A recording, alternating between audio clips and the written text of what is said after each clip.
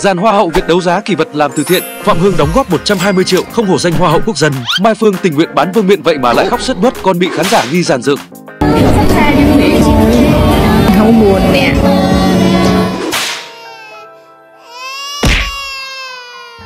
Tôi đau đớn, tôi gục ngã Vì mục đích từ thiện cao quý, có không ít hoa hậu đã quyết định đấu giá những món đồ ý nghĩa và mang lại may mắn cho bản thân để gây quỹ, đóng góp cho cộng đồng.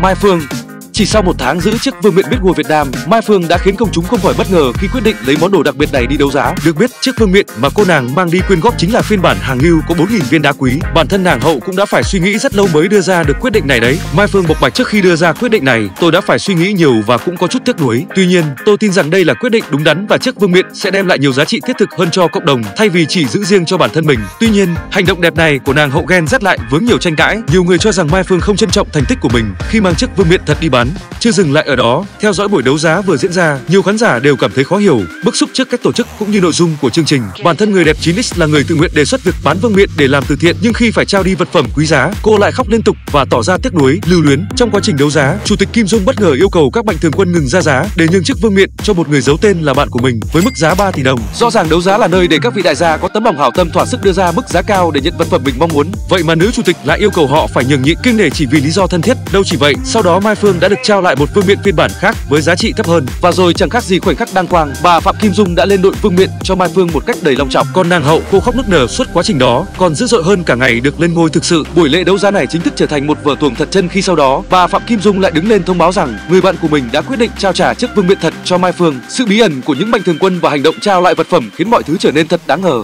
Hương giang Hoa hậu Hương Giang cũng từng mang đồ đi bán để làm từ thiện. Đó là thời điểm Covid đang bùng phát mạnh, các nghệ sĩ đã quyết định tổ chức một buổi đấu giá để dùng tiền mua trang thiết bị cho các bệnh viện. Tại đây, nữ biên tập viên giàu có của VTV, Ngọc Trinh đã đóng góp chiếc đồng hồ hàng hiệu của mình cho phiên đấu giá. Và bạn biết không, Hoa hậu Hương Giang đã là người mua món đồ này với giá 900 triệu. Điều đáng nói là thời điểm đó, Hương Giang vẫn còn đang ở ẩn hậu ồn ào khẩu chiến với anti fan. Mặc dù nàng hậu vẫn còn chưa sẵn sàng để trở lại showbiz nhưng bạn thấy đấy, điều đó không thể ngăn được tấm lòng nhân ái của cô. Hương Giang đã nhờ siêu mẫu Xuân Lan thay mặt mình chốt đơn. Đặc biệt, sau khi món đồ trị giá gần cả tỷ về tay, Hương Giang không sử dụng nó mà lại tiếp tục mang ra đấu giá. Kết quả là cô nàng bán được món trang sức này với giá 89 triệu đồng, nâng tổng số tiền quyên góp lên 1 tỷ 599 triệu đồng.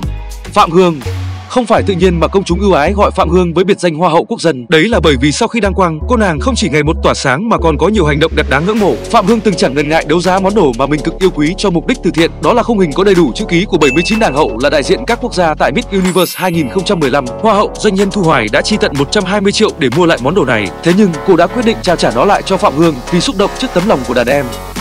Nhìn chung, việc đấu giá những món đồ của các nàng hậu trên là một cách làm từ thiện khá hay. Qua đó, những mỹ nhân trên đã không chỉ đóng góp được cho cộng đồng mà bản thân họ cũng đang lan tỏa tình yêu thương và giá trị tốt đẹp cho mọi người. Tuy nhiên, thiết nghĩ, hành động cao đẹp này chỉ nên được làm với mục đích từ thiện mà thôi. Nếu cố gắng dùng nó như một chiêu trò truyền thông thì những ý nghĩa tốt đẹp vốn có sẽ hoàn toàn bị mất đi.